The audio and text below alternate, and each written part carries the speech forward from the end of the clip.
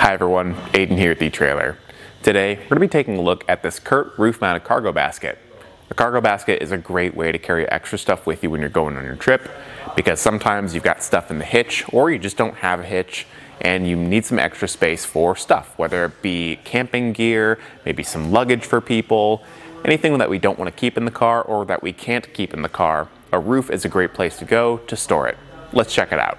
Now comparing a roof basket to some other options out there, you might be considering a hitch-mounted cargo carrier or a roof box. On the side of the hitch-mounted cargo carriers, those can be great for heavier things because typically they and the hitch on your vehicle can support heavier loads. Now that's not true for every vehicle, but in some cases, and really most cases, it's gonna be easier to load up with heavier, heavier stuff. So I'd say if you're looking for something that can maybe support some house projects, getting bags of mulch, concrete, dirt, anything heavier, maybe like a cooler, that's gonna be a better way to go because it's easier to load up lower down like that and it can support more weight.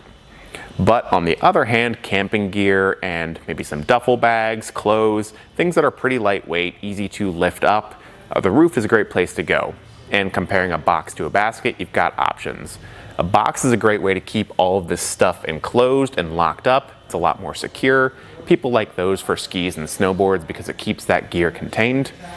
But a basket is nice because it's a little bit more free and open. We can fit some larger things up here if need be. As long as it's strapped down properly, you're good to go. And typically a basket will have somewhat better weight capacities, but anything on the roof, you have to keep in mind the roof's weight capacity on your vehicle and the capacity of the roof rack. That's something that can be a big issue with this basket in particular because it is so big. You can fit a lot of stuff in here and all of this is really just for demonstration purposes because if that cooler were fully loaded, if the boxes on the other side were loaded up with stuff, I'd be concerned about weight. The carrier can support 150 pounds, but that doesn't mean that your roof or the roof rack can, and you always want to go by the lowest rated component so we're not overloading anything on our vehicle. Now, if you've decided on a basket, you probably want to know how much you can fit in it space-wise. Like I said, this one is a bigger option, so if you need the extra room, this can get you that. From front to back, the inside measurements of actual usable space is going to be 58 and 3 quarters of an inch. From side to side, that's going to be 37 and 1 quarter of an inch. And you can notice that the sidewalls here help box all of our gear in. Those are gonna be about five inches tall from the base to the top. So that does a great job at holding our things in. And just to give you a bit of a size reference, we've got two plastic totes on the other side. We've got a large dry bag in the middle, along with a blue cooler, a sleeping bag, and a camping chair. So plenty of stuff fits in here, and there's even some room at the back end for some extra stuff if need be. And for your vehicle, from the crossbar to the top of the rack is going to be seven and one quarter of an inch to the tallest point. That's going to be really important for things like pulling into your garage if you still can, and things like parking garages, drive-throughs, any low clearance situation because this does add height to your vehicle. And the last thing you want to do is be driving up to your garage and hit it on your way in because you've added so much height to the top. All around you've got steel construction with a black powder coat finish even the front fairing is actually a black powder coated steel. You can see we have a few imperfections on our powder coat here, which could just be to poor quality control, but I do like that everything on here is metal, especially the front fairing. That's gonna help reduce wind noise and drag when we're going down the road, so it's not as obnoxious when it's up here.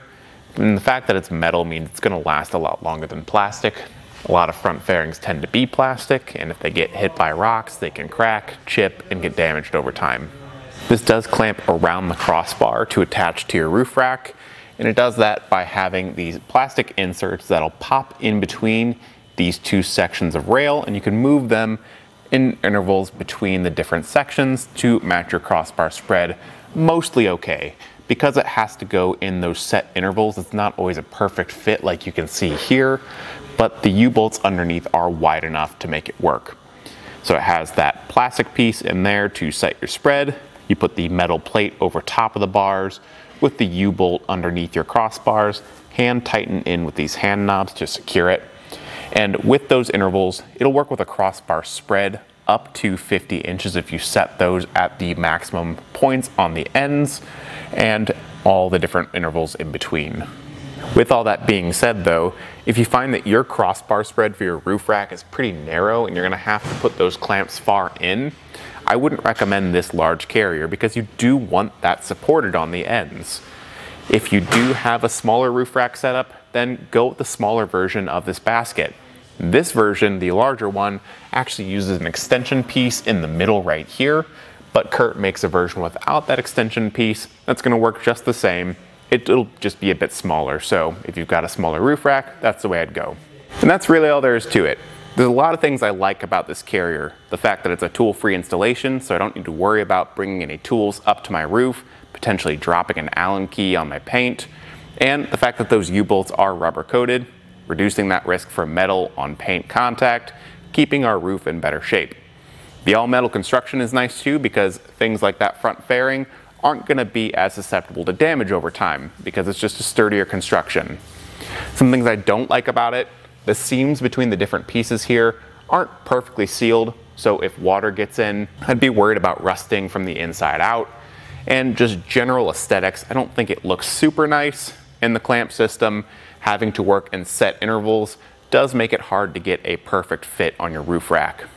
To remedy that, I'd maybe look into the Rhino-Rack roof basket.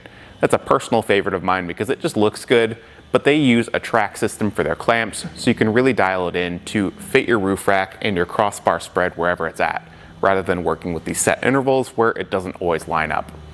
But if you're looking for something functional to get you started with carrying stuff on your roof, I think the Curt Roof Mounted Basket is a great place to start. Thanks for watching.